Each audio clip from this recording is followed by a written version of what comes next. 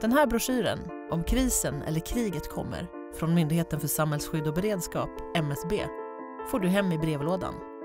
Spara den.